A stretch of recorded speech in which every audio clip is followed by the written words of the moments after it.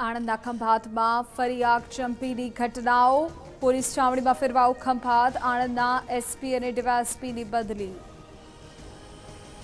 ખંભાતની હિંસાને લઈને સરકારનો મોટો નિર્ણય અશાંધારો લાગુ કરવાની પ્રક્રિયા કરાશે શરૂ અમદાવાદના કાગડાપીઠ પોલીસ સ્ટેશનમાં થયેલા કસ્ટોડિયલ ડેથ મુદ્દે બબાર પરિવારે મૃતદેહ સ્વીકારવાનો કર્યો ઇનકાર પોલીસ ફરિયાદ દાખલ કરવા માંગણી